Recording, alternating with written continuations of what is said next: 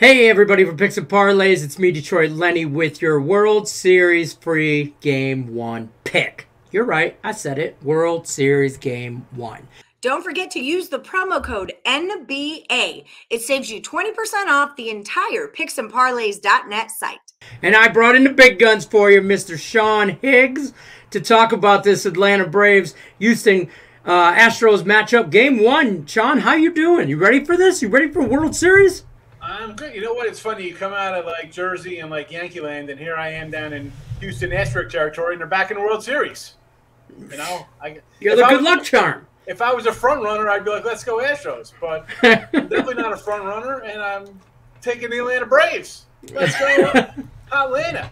You know, listen, Houston's a good team. Obviously, you know they lost. Um, you know, Verlander, Greinke wasn't good most of the year. Uh, McCullers again injury, didn't pitch often, and yet here they are, took care of business, which we thought they would, right? We liked them over the White Sox and the Red Sox in the series, and the Braves. You all know I've talked about the Brew, you know, the Brewers all year, but I said, you know what? We're taking the Braves. Braves in the series, Braves over the Dodgers. We're doing it again. We got Charlie Morton versus uh, Framber.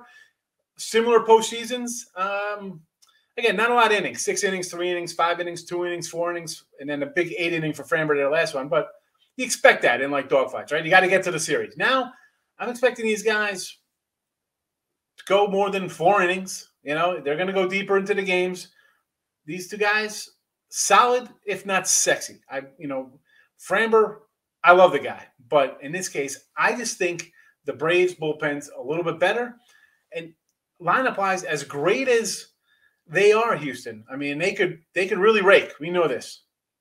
I don't. I'm just thinking this Atlanta team is the I don't say the team of destiny. I know Houston's out like the revenge tour for the cheating and garbage cans or whatever's that got going on. But give me Atlanta here. I, I like the bullpen. I think is the edge. I think the bats kind of equal out each other because I think the starters for Atlanta are better than um, Houston. So here in game one, we'll grab some Charlie Morton. If you want the series, it's plus 130. If you want to grab Austin Riley, little MVP at plus 1400, why not?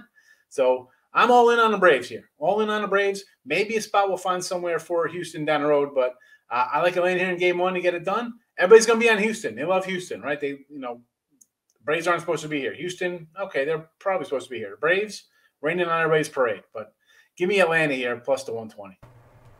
I love it. Never going to talk anybody off of plus money here. Not not not in this house. Uh, I love the Braves here in this way. I think that I, I don't know. I think the Astros squeak out the whole series, but I can't wait to watch this series.